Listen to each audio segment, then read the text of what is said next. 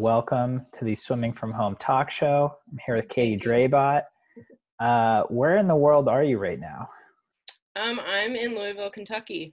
Okay, so good Yeah. thing we were talking in Pacific Standard Times. I know, I know. I really had to do the math on that one for a second. That's that's been my whole week. I've like talking to everyone, being like, okay, it's your it's your time, and then carry the two, and yeah. Uh-huh, uh-huh. Um, so what are you doing in Louisville? Um, so originally I came out here because Brooke Forde lives um, in Louisville, and at the time that was kind of the best situation for us. There was still a pool open when we got here, Mhm. um, and then I was talking with my parents, and if the pool were to close, which it did, um, it's still a reasonable drive away, Mhm. so they could still come pick me up. Um, so we got here. I think we had three pool sessions before it closed. okay. Um, and then we've just kind of been out here hiking, running, biking, whatever. And then I was supposed to go to Colorado because there was a potential pool open there with a teammate of mine. And then last minute that got canceled. So now I'm with my brother, who thankfully lives in Louisville too. Um, and then I'm headed home tomorrow finally. So yeah. to home to Wisconsin. Wisconsin. Okay. So it's like a six hour drive. So Okay. it's not it's not bad, but you know, six Yeah. hours is you know It's a ways.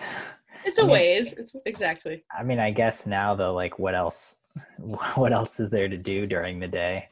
Exactly. There's nothing. And he's working and I feel like I'm in his way. So at this point I think going home, having my space, I'll start school on Monday, so I'll get busy with that.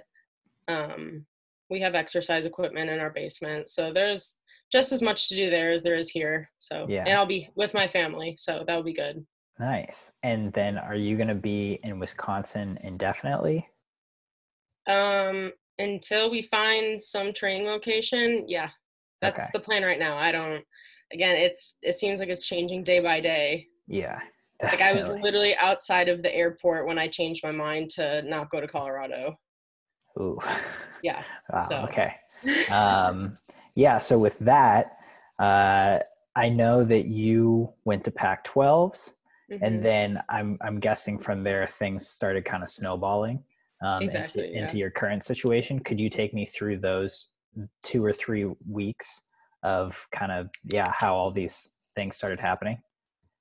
Yeah, so um, when we were in Pac 12s or at Pac 12s, uh, this whole virus thing was still kind of new. I think it was just coming to the US.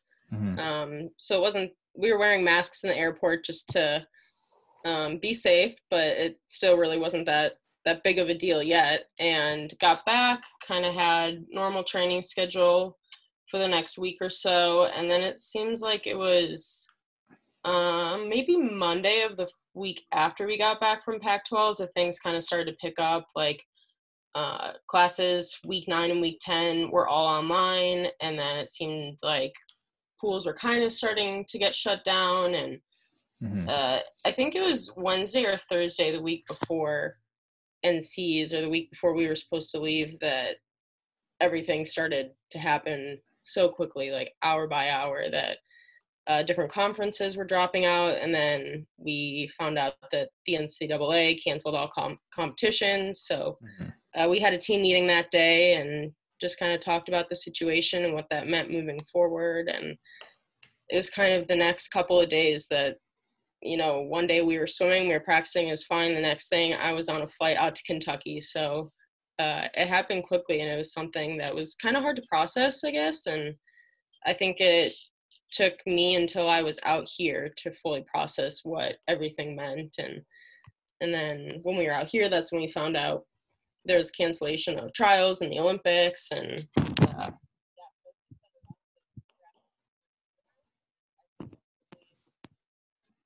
Oh, I think I lost you on audio a little. it's all good. Can you hear me? Yeah. Yeah. Yeah. yeah. Okay.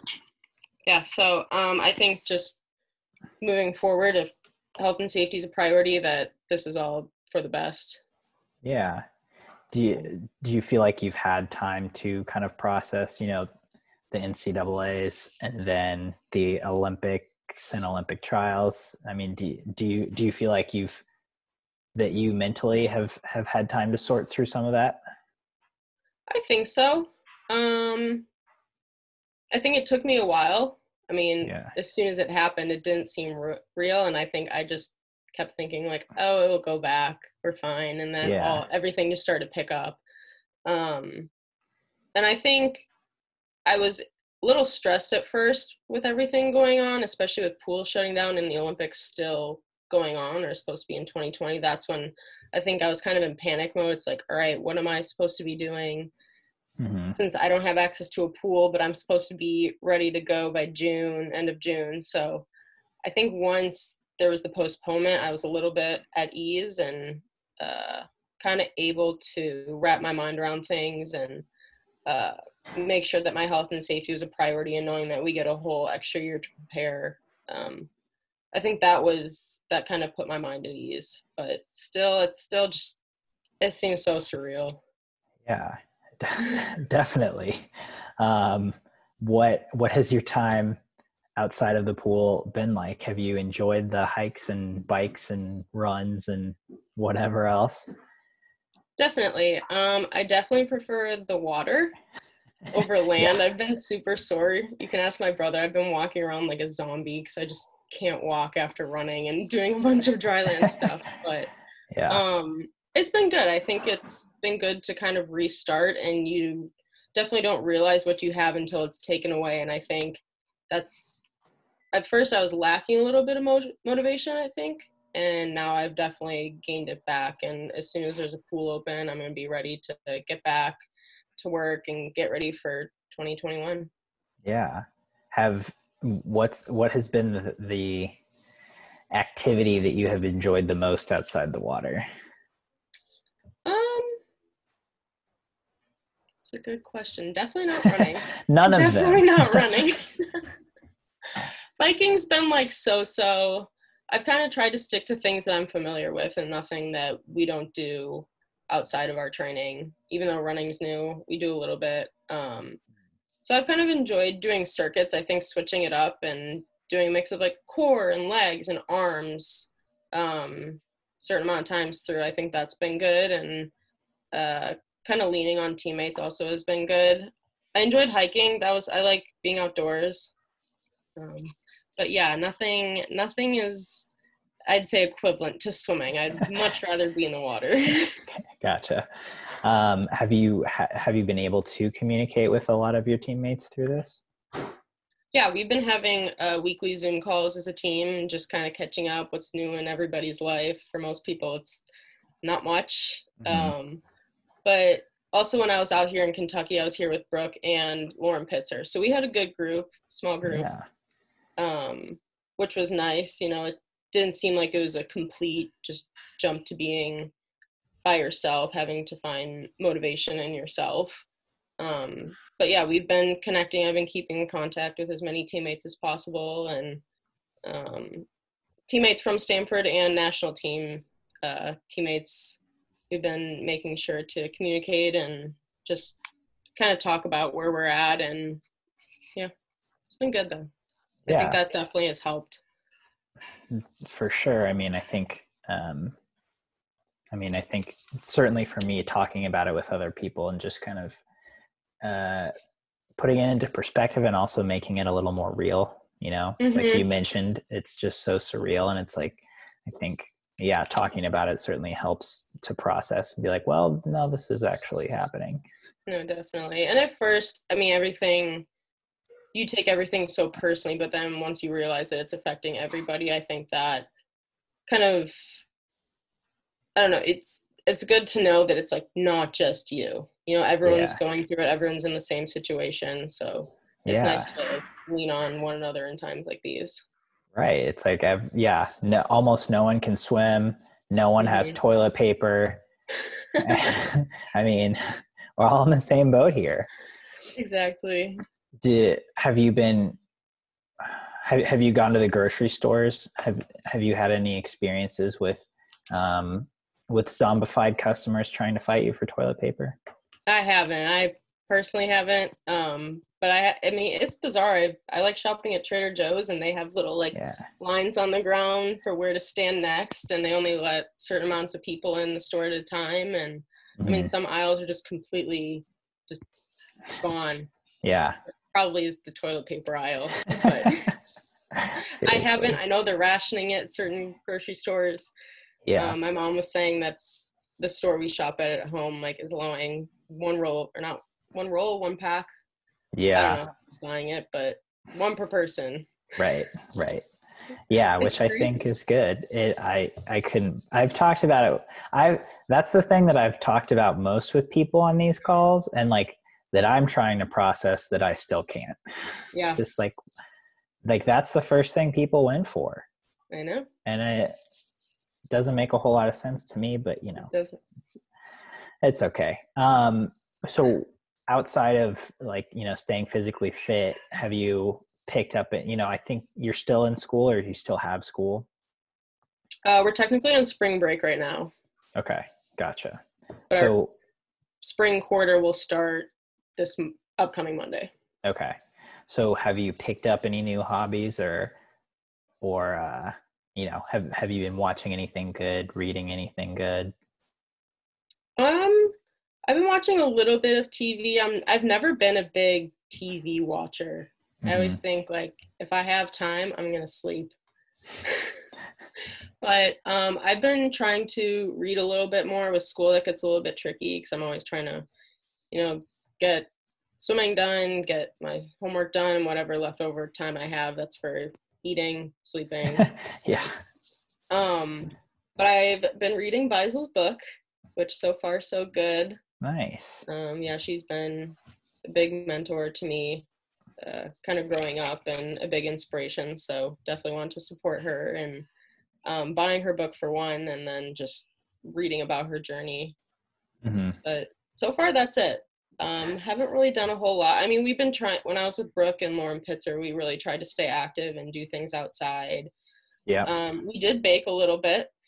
Um, so we were always trying to find new recipes, whether so either it was baking or um, we would cook dinner some nights or cook um, sides of dinner. So that was fun. We really Yeah. enjoyed looking up recipes on Pinterest and trying them out. Some Uh-huh. some were better than others, but Was there a best or a favorite that you had? Mm, I'd say for desserts, we made these coconut bars, and I'm not like a huge coconut person, but they were so good. And then um, for savory dishes, we made spicy Brussels sprouts for dinner one night, hmm and I love Brussels sprouts, so Yeah. um, those were a huge hit. How did you spice them? Like, what made them spicy? Um, you mix sriracha, honey, and lime juice, and then after you've kind of baked the Brussels sprouts in the oven, you drizzle that over the top. Oh wow, They're yeah, good. That sounds that sounds quite They're good. A little crispy on the outsides. Oh, nice. oh, that sounds great. Is your did do you cook with your brother also? I have been a little bit. Um, I mean, I've been trying to help out as much as I can over here. I don't want to just, you know, be Your here to freeloader. sleep on his bed, and that's about it. So I've been helping out in the kitchen. We made, um, again, I'm kind of more the side dish person. He's been, you know, grilling the meats, whatever. Mhm, Um, I made the Brussels sprouts for him, Nice. and then we made like a mushroom uh, risotto. So Okay. been helping out, you know, Yeah. not much. Yeah. So, have you picked up any habits that eh, just because you have so much free time that you're just like, oh, I might as well do this? Or have you lost any habits because, like, you're not swimming five hours a day like you normally would? Um, I've definitely noticed that like showering. That's something that like just because we're in the pool and in the water and we have access to that to our locker room, um, like that's something now that's like, oh, I need to do that maybe like once a day, once every other day. Right. Uh, changing into like normal clothes, I guess. I mean, for me, normal clothes is still like sweatshirt, sweatpants, but like getting out of my pajamas Yeah. um yeah i mean i'd say for the most part that's about it just Mhm. kind of little things that we. Yeah, right. I mean, it's yeah, it's it's definitely different.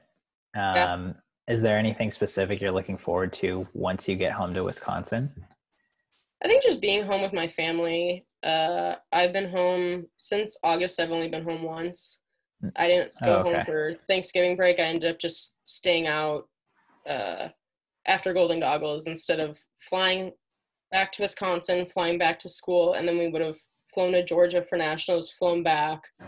Then we went to Colorado for a teammate's wedding. Then I would have gone gone home. So I just tried to limit, uh, tried to take away a trip if I could. So I stayed back for Thanksgiving, and then our winter break was cut short this year because because of how our academic year fell. We would have had one less day at the OTC. Okay. So then we pushed instead of reporting to the OTC on the 27th, we came the 26th. So Okay. um, I don't really get a whole lot of time at home. So I think really just uh, spending time with my family, getting to sleep in my own bed, see my siblings, uh, spend time with my parents, my my cats. Um, yeah, just like the little things that you miss out on from being at school all the time. Yeah. What? How many? How many of your siblings will be there? Um, for sure one. So I'm one of four. Okay. Uh, my brother's here, so I'm making up that time now. Um, Yeah. And then I have a younger sister who's still in high school, and then an older sister who's in PA school that's Mm-hmm. about 10 minutes away from our house. So, oh. um, yeah, so it works out. She now lives home, but I think, I don't know where she is right now. I think she might be up in Minnesota, but she might come back. I'm not entirely sure. Okay. She's kind of a hit or miss when I go home. So, for sure, one, maybe two. gotcha. Um, do you guys have like family traditions or little things you all do when you get together? Not really. I think it's just trying to spend as much time as possible together, um, and just not isolate ourselves. You know, now with all of us being kind of everywhere around the country, we really cherish the time that we do have together. So making sure that uh, we're hanging out and uh, I don't know, just keeping in touch as much as possible. Yeah, So definitely. yeah, no, nothing special. I mean, our family's more of just to kind of chill and hang out, maybe watch TV. Um, yeah, I mean, we value our meal time, so I'm sure we'll have some nice family dinners together. Yeah, nice. Do, have you seen Tiger King yet? I haven't. My sister's been telling me about it, and a lot of people actually have been telling me about it. I have not watched it yet, but I've heard it's very interesting. Have you? It's pretty interesting. Oh yeah, Really? we've we've we've been knocking out a lot of series. Um, but uh, yeah, that I've been asking everyone about Tiger King because I think it's interesting to hear their thoughts, and it's a hot topic right now. But um, yeah, no, I would recommend it. It's it's a wild ride.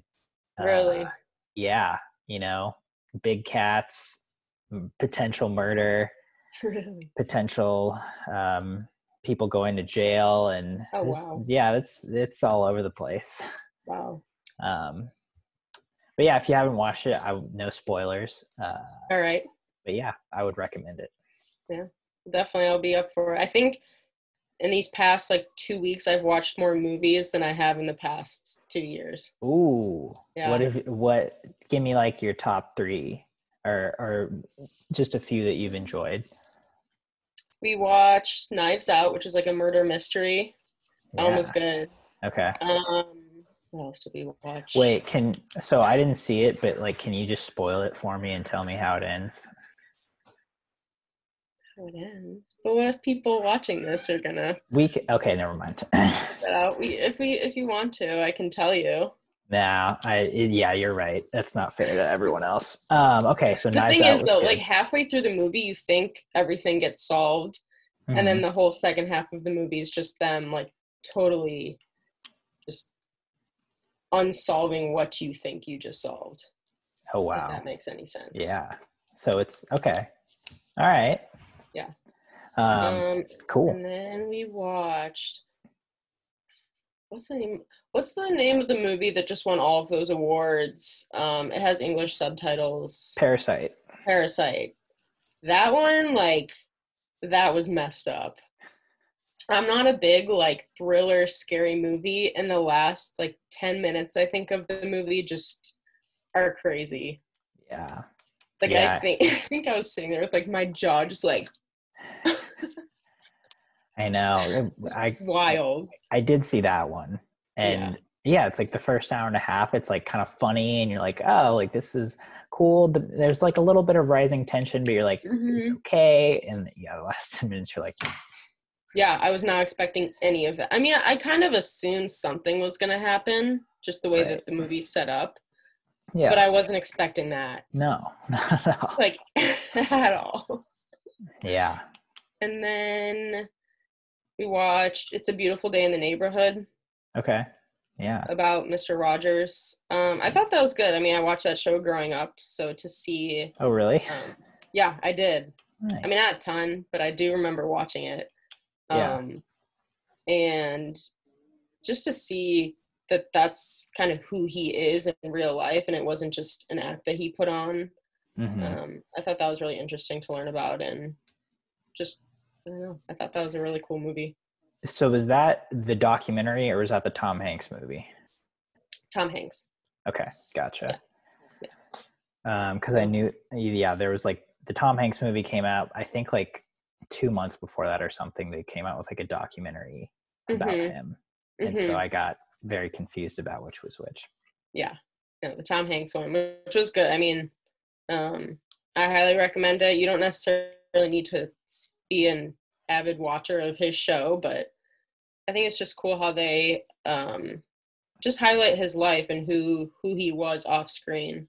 Mm-hmm. It was interesting. So Definitely I'd say those those are the top three, nice. top three at the time at the moment. We'll see. I'll probably get into more movies. yeah, nice. Um, well, cool. Any any closing thoughts you've got? Mm, Not that I can think of. I mean, at the moment, I'm just trying to figure out my life, Right. figure out a plan. So to. is is there i guess uh, we i've closed a lot of these interviews with something like this you know is there anything you know ev- everyone's in the same boat like you said uh you know there's a lot of club swimmers a lot of college swimmers who who are really hurting because they can't do what they love you know they can't Mhm. swim and um we're all in this together but has there is there any advice you that you would give to them or or have you found anything particular that has helped you move forward through this I think staying connected with teammates, and I mean, if you're lacking motivation, express that to someone and try and find someone that you can lean on in these times. Um, whether that's just looking at someone's social media account, I know lots of people are posting workout videos and um, things of inspiration. So, whatever you can take from that, um, I know I've been heavily relying on my teammates for that inspiration and that motivation. And um,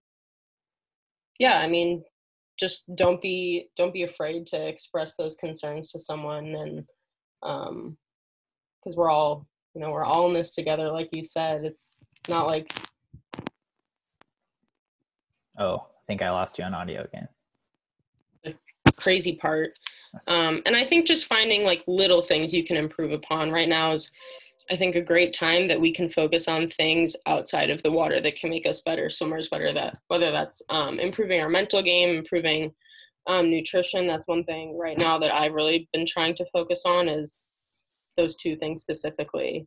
Yeah. Um, and just becoming stronger outside of the water. You know, dry land is a huge component to swimming, and it's not. I know we're not necessarily the most coordinated on land, but just pulling up from those those small small um, aspects that can just once you do get in the water, I think they'll make huge improvements.